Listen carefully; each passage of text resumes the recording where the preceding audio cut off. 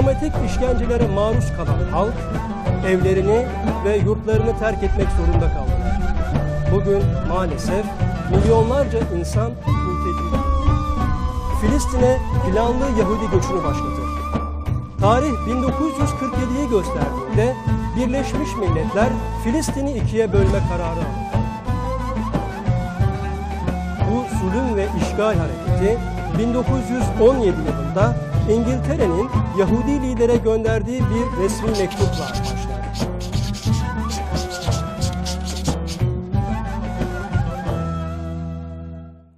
Evet sevgili seyirciler, e, kısa bir aradan sonra tekrar birlikteyiz. Kaldığımız yerden devam ediyoruz.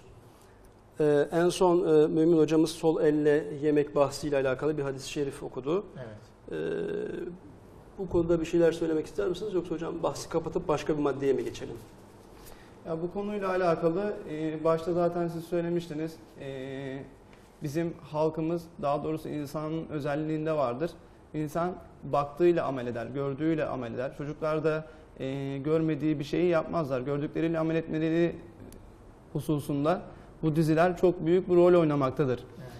E, Ertuğrul Gazi gibi güzel, büyük bir zat, dediğimiz gibi bir cihan devletinin kuruluşunun temellerini atmış bir zatın yansıtılması ve e, bu yansıtılırken de gençlerimize, çocuklarımıza veya insanlarımıza e, bu şekilde yanlış hallerle, hareketlerle yansıtılması büyük bir sıkıntı olarak görüyorum ben. Sadece işte e, o ifade sol elle yeme mevzusu değil, e, sol elle yeme mevzusu var, işte e, aynı sofraya oturma mevzusu var. Aynı sofraya derken yani kadın erkek aynı sofraya oturma mevzusu. Biliyorsunuz bizde e, haremlik selamlık mevzusu vardır. Yani Osmanlı Ertuğrul Gazi zamanında da bu öngörülmüştür. Kadın ve erkek hatta orada bir e, şeyh var İbnül Arabi. Ertuğrul Gazi'den önce yaşamıştır İbnül Arabi. Orayı artık kurgu olarak herhalde yansıtmışlar.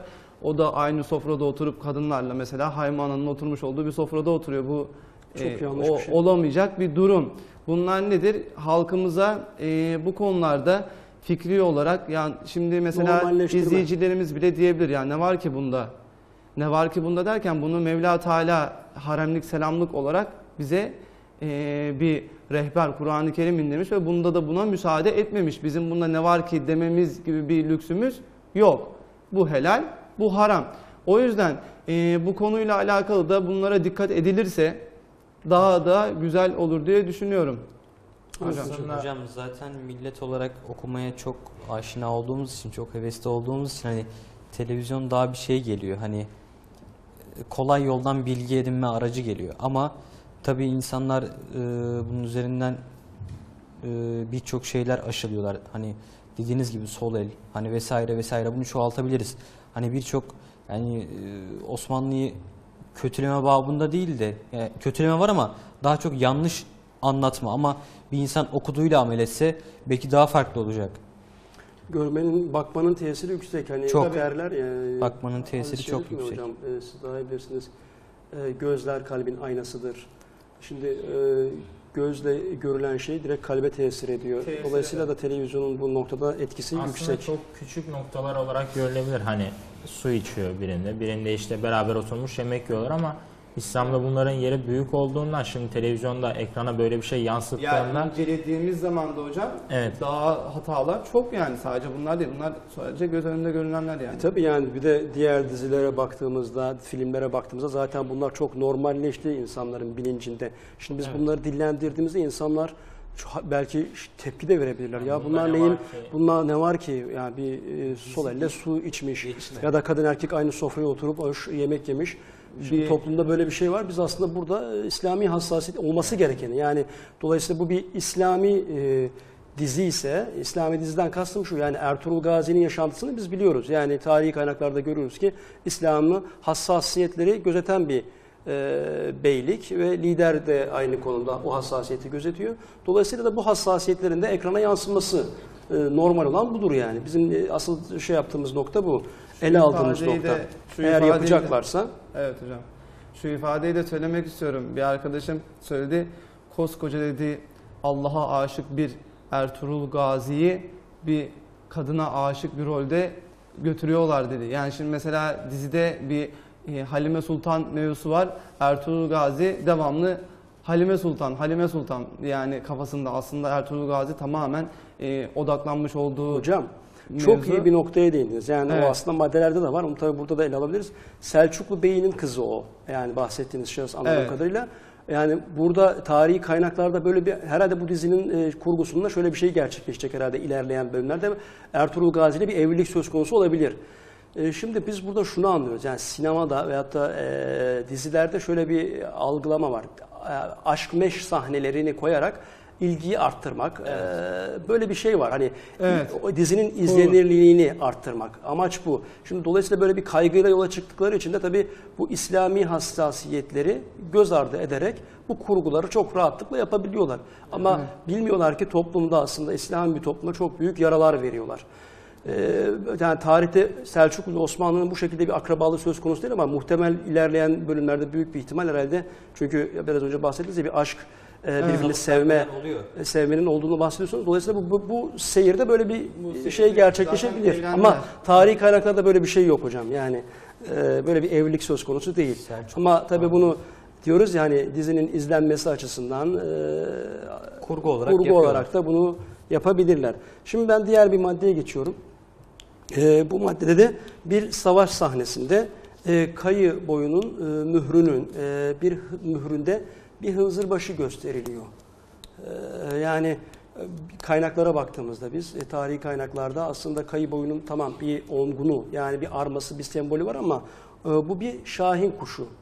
Tarihi kaynaklarda biz bunu görüyoruz ama şimdi e, durum böyle olmasına rağmen burada bir hınzır başının gösterilmesindeki amaç ne biz pek anlamış değiliz. Çünkü e, biliyoruz ki dinimizde hınzır necis görülen bir hayvan, kerik Evet. görülen bir hayvan. E, bundaki amaç nedir? Tabii bu da enteresan. Burayı da anlamış değiliz. Ya şimdi dediğim gibi ben eee, şöyle konunun başında da söylemiştim. Sanki zamanımıza uyarlı bir kayı boyu var ortada yani. Şimdi tamamen o zamanın işte kıyafetleri eee, yok ne bileyim çadırlar lüks öyle bir çadır yok yani.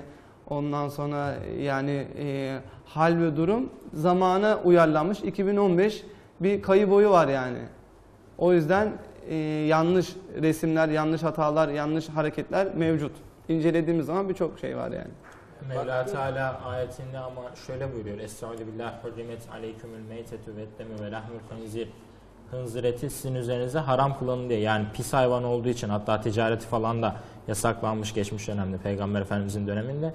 Bu derece pis bir hayvanın da öyle e, kayı mühründe yer alması da gerçekten çok ilginç bir durum. Evet, e, diğer bir madde de dizinin sanırım ilk bölümlerinde herhalde böyle bir hata, büyük bir hata yapılmış. Dizide oynayan e, kadın oyuncuların saçlarının açık olduğu, e, tabii daha sonradan bunu herhalde bilmiyorum ne ölçüde düzelttiler bilemiyorum ama böyle bir şeyin olduğu söyleniyor hocam. Bu da biliyoruz ki biz o dönemde Ertuğrul Gazi'nin ve aşiretinin işte dedik ya demin de bahsettik. Haremlik selamlar. Böyle e, İslami hassasiyetleri yüksek olan bir e, beylikte böyle bir şey, kadınların başlarının böyle pervasızca açık dolaşmaları, dizide böyle bir algının oluşturulması e, da yanlış. Yani tesettür anlayışımıza tamamen tezat bir hadise var burada. E, bu konuda neler söylemek Tesettür istersiniz hocam? demişken yine Ahzab suresi 59. ayette Mevla Teala ey Resulüm işte zevcelerine, eşlerine, mümin hanımlara veya kızlarına söyle. Onlar baştan aşağı cilbaplarını. Cilbap nedir? Ee, tek parça çarşaf dediğimiz olay baştan aşağı ayağa kadar örten çarşaf.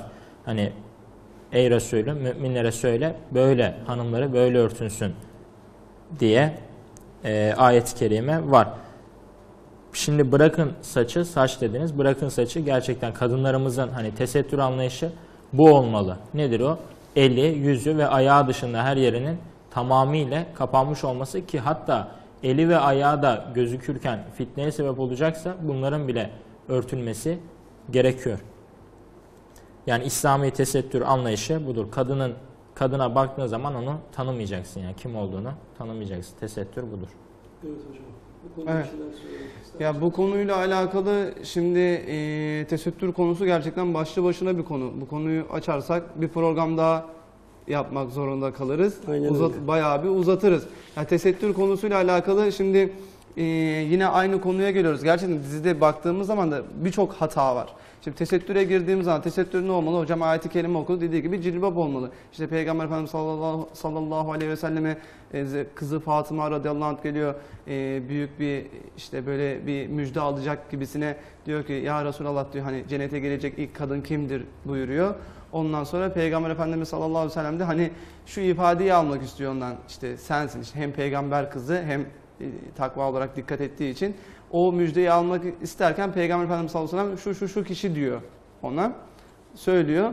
Sonrasında Hazreti Fatıma radıyallahu anh e, onunla tanışmanı da isterim buyuruyor Peygamber Efendimiz sallallahu aleyhi ve sellem. Sonrasında Hazreti Fatıma radıyallahu anh o kişinin evine gidiyor. Birinci gün gittiğinde kapıyı çalıyor. Ben diyor Allah Resulü'nün kızı Hazreti Fatıma sizinle diyor tanışmak istiyorum.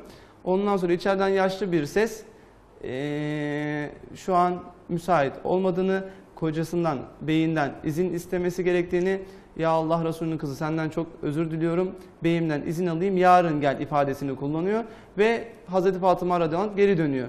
İkinci gün eee, oğlu Hasan'la birlikte gittiği zaman da bu sefer e, içerideki yaşlı ses senin için izin aldım ama evladın için izin almadım ifadesini kullanıyor.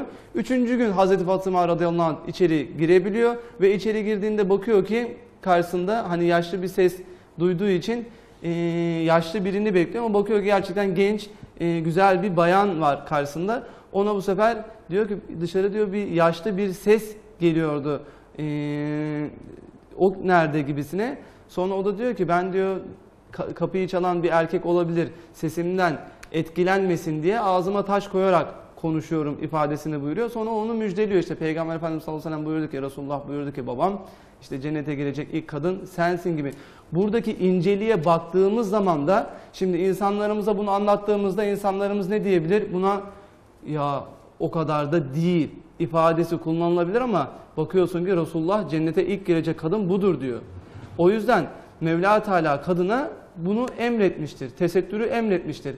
Bu şekilde e, insanlarımızın da bizim kime özenecek bugün baktığımız zaman da Osmanlı'ya ne diyoruz? Bütün e, hocalarımız Osmanlı tarihi şöyledir, böyledir, kadınları böyledir, erkekleri böyledir, 623 sene bir cihan Müslümanlık devleti yaşanmıştır gibi gençlerimizde de ne var? Osmanlı'ya karşı bir e, ilgi ve alaka var. Ama Osmanlı'yı saçı açık, ne bileyim işte sol elle su içen, erkeklerle aynı sofraya oturan veya işte aşk meşk mevzularına giren bir tip olarak tanırlarsa bu sefer yanlış Osmanlı amellerine girerler. İmajına- Ama e, evet şimdi ama öbür taraftan baktığımız zaman da cennete ilk girecek kadına tamamen Peygamber Efendimiz'e bakıyorsun tamamen bir soyutlanmış bir durum var. O yüzden biz burada eee bu dizi olayında yanlış yansıtmalar var dedik. Konuyu toparlayacak olursak bunlara e, biraz daha araştırmamız gerekir. Tamamen o şekilde amel etmeyelim diyorum. İkinci bir husus duruma bakacağımız zaman hocamız her zaman der Allah ve Resulünün ölçüsünde bakmak gerekir. Allah ve Resulü nasıl buyurduysa yani bizim bildiğimiz, bizim gördüğümüz gibi değil. Ya saçı açık olabilir, şöyle olabilir, böyle olabilir değil. Allah bunu yasak etmiş. Bunun daha ikinci bir ifadesi yok. O yüzden bu konuyu da böyle seyircilerimize aktarmış olalım. Hocam sizler de bir şey söylemek isterseniz buyurun. Ee, Zaten arkadaşlar söylediği gibi hocam tesettür ön plandaydı yani Osmanlı'da. Ee, Şu an zaten günümüzde baktığımızda herkes şunu söylüyor yani dizi. Yani dizidir ne olacak deyip geçebiliyor ama tabii ki e, şunu unutuyoruz. Zihinlerde çok müthiş yer ediyor yani. Hani e, baktığımızda yarın senin çocuğun diziyi izledikten sonra Osmanlı'yı sorduklarında anlatacağı şey tek şey var o da dizi. Aynen. Elinde hiçbir Evet. kaynak olmadan sadece diziyi anlatacak. Gördüğünü. gördüğünü anlatacak yani bu yani elimizde kalan tek e, miras bu olacak yani fazlası olmayacak. Tesettürün yine inceliğiyle alakalı Mesut Hocam'ın örneğinden sonra aklıma gelen bir şey. e, ağzına taş koyup yaşlı sesi çıkarmasıyla alakalı. Osmanlı genç kızlarında da çarşafının altına arka taraftan bir minder, bir yastık gibi bir şey koyup hani kambur gözüküp yaşlı gösterme kendini. Evet. Buyurun şimdi yani böyle bir nesil varken yansıtılan Yansıtılan çok hale farklı. bak vücut Evet hatları hocam. belirgin Evet. ne bileyim Şimdi evet hocam. bu şekilde Yani bir genel hareket olarak yani. toparlarsak bizim aslında burada söylemek istediğimiz Ee, Osmanlı'nın o ilk kuruluş devresi olan Ertuğrul Gazi dönemine baktığımızda biz biliyoruz ki İslam e, gerçekten e, çok e, kuvvetli bir şekilde e, İslam'ın dininin gerekleri çok kuvvetli bir şekilde yaşanıyor ve herkes buna çok iyi sıkı riayet ediyor. Bizim e, buradan hareketle söylemek istediğimiz bu dizilerle yansıtılanlar, e, yansıtılanlara halkımız tamamen teveccüh göstermesinler. E, bu dizilerle anlatılanların e, birer kurgu olduğunu, alt planında e, İslam'la, İslam'ı hassasiyetleri gözetmediğini bilsinler. Dolayısıyla sahiplenme noktasında da bu şekilde baksınlar. Yani e, şimdi daha önce Kanuni anlatan e, kötü bir diziden sonra daha az kötü bir diziyi o çok güzel olmuş diyerek sahiplenmek de yanlış. Çünkü e, iyi olan şeyleri anlayabilmek için kötü örneklere bakarak onun iyi olduğunu biz e, çıkartamayız. Dolayısıyla bizim örnek alacağımız, referans alacağımız kaynaklar nedir? Kur'an ve sünnettir. Dolayısıyla Ertuğrul Gazi de gerçekten Allah ve Resulüne e, aşkla, şevkle bağlanmış, ilahi kelimetullah uğrunda mücadele vermiş e, çok e, büyük bir lider. Dolayısıyla bunun tarihsel dönemini anlatırken bu hassasiyetler gözetilsin diyoruz. Ve halkımıza da şuradan e, buradan şu çağrıyı yapmak istiyoruz. Böyle işte e, tamam belki görsel şölenler olabilir, insanın böyle hani içini kabartan e, sahneler olabilir. Hani biz zaten millet olarak biliyoruz hani e, böyle cihan, cihangir olaylar, savaş olayları işte e, böyle şeyler bizi etkiliyor, daha çok etkiliyor. Aksiyon olan E, şey yani etkiliyor. aksiyon olan evet daha diğer bir tabirle. Dolayısıyla sadece bu görsellikten yana e, bakarak olayları ele almayalım. Aslında toplumumuzu tahrip ettiği e, yanları görelim. Çocuklarımızı, gençliğimizi özellikle tahrip eden yanlarına bakarsak daha hassas davranalım. Yani bunları sahiplenme noktasında e, sahiplenmeyelim açıkçası. E, buradan bunu söylemek Dediğiniz istiyoruz. hocam zaten anlayanda bir etki değil de yani anlayamayan dediğim gibi gençlerimizde çocuklarımızda görüntü olarak bir verdiği için şimdi mesela bir çocuk nedir? Her zaman kendine bir kahraman belirler ve onun haliyle hallenmeye başlar. Bu çizgi film kahramanı olur işte ne bileyim eee, dizi kahramanı olur. Burada da biz şimdi eee, muhafazakar bir İslam eee, Müslümanlar ümmeti Muhammed olarak ne yapıyoruz? Dediğimiz gibi Osmanlı'yı kendimize bir örnek teşkil etmesi hasebiyle bakıyoruz. Ve çocuklarımıza bunu vermeye çalışıyoruz. Şöyleydi böyleydi gibi. Onlar da bu şekilde baktıkları zaman da o şekilde bir izlemiş oldukları hal neyse o şekilde beyinlerine, bilinçaltlarına yerleşecektir. Bunun önüne artık nasıl geçebiliriz bilmiyorum. Evet hocam e, son olarak toparlayalım isterseniz. Evet. Ee, Ertuğrul Gazi gerçekten e, ahlakıyla, edebiyle, e, si- siyasi dehasıyla e, gerçekten örnek ve önder bir şahsiyetti. Osmanlı'nın kurulmasının, e, Osmanlı Devleti'nin kurulmasının temellerini atan örnek bir şahsiyetti. E, 1281'de e, Ertuğrul Gazi'nin e, 93 yaşlarında vefat ettiğini söylemiştik. Söğüt'te, Bilecik Söğüt'te. Türbesi de Bilecik Söğüt'te bulunuyor ve 13. Evet. yüzyılda kesin yine bir kaynak yok ama bilgi yok ama 13. yüzyılda dayandığı söyleniyor. Türbesinin Osman Gazi tarafından yapıldığını, e, açık mezar olarak yapıldığını, e, daha sonra da 1. Mehmet tarafından, Sultan 3. Mustafa ve en sonunda da 2. Abdülhamit tarafından restore edilerek e, restore edildiğini görüyoruz. Eğer e, yönetmen arkadaşımız e, ekrana türbeyi yansıtırlarsa evet e, ekranda da gördüğünüz gibi sevgili seyirciler Ertuğrul Gazi'nin Bilecik Söğüt'teki türbesi e, bu şekilde. Biz e, burada programımızı e, hepimizin gördüğü gibi bir kitabe var ve orada Ertuğrul Gazi'nin Osman Bey'e bir vasiyeti, bir uyarısı, uyarısı niteliğinde bir kitabe var. Bu kitabede yazılanlarla programımızı sonlandırmak istiyoruz. Burada tabii e, son, e, bu metni okumadan önce şunu belirtmek istiyoruz. E, Osmanlı'nın ilk temelinden e, son ana kadar e, İslam'a olan hürmet, Allah dostlarına olan hürmet, saygı, onlara her konuda danışma, e, onların onlara her konuda başvurma, onların rehberliğinde hareket ettiklerini gösteren ifadeler var burada. Ee, bunu da bil- bilmemiz gerekiyor. Yani Osmanlı'nın ilk dönemlerinden son ana kadar e, biz e, alimlere, padişahların yani en üst zirve makamların alimlere, Allah dostlarına hürmet ettiğini görüyoruz. Ve bu şekilde ben sonlandırmak istiyorum ifadelerimi ve e, sözü yani bu kitabeyi okumak üzere de Mecit Hocam size e, söz veriyorum. Buyurun. Kitabede yazılı olan Bak oğul beni kır, Şeyh Edebali'yi kırma. O bizim boyumuzun ışığıdır. Terazisi dirhem şaşmaz, bana karşı gel, ona karşı gelme. Bana karşı gelirsen üzülür, incilirim. Ona karşı gelirsen gözlerim sana bakmaz olur. Baksa da görmez olur. Sözümüz edebali için değil, senceyiz içindir. Bu dediklerimi vasiyetim say diye Osman Ertuğrul Gazi evladı Osman Gazi'ye söylemiştir. Benim burada dikkatimi çeken satır sözümüz edebali için değil senceyiz içindir buyurması. Yani burada göstermiş olduğun ona karşı olan işte edep, ahlak, hürmet, e, istifade boyutunda ne kadar sahiplenirsen, ne kadar ona karşı e, edebiyle, ahlakıyla, şuuruyla ne kadar güzel bağlanırsan, ne kadar iyi dinlersen o kadar istifade edebilirsin. Hani Şeyh Edebali senin ona hürmet etmenle o, senden istifade değil de sen ondan istifade edeceksin gibi bir ifade kullanmış burada Evet hocam. Ertuğrul Gazi. Gerçekten çok, Çok güzel teşekkür kullanmış. ediyorum hocam.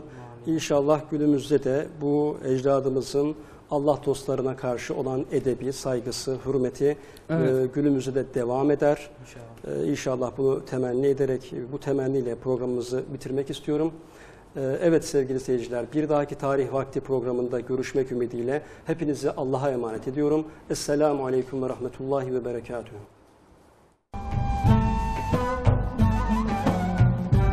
Sistematik işkencelere maruz kalan halk, evlerini ve yurtlarını terk etmek zorunda kaldı. Bugün maalesef milyonlarca insan mülteci. Filistin'e planlı Yahudi göçünü başlatır. Tarih 1947'yi gösterdiğinde Birleşmiş Milletler Filistin'i ikiye bölme kararı alır.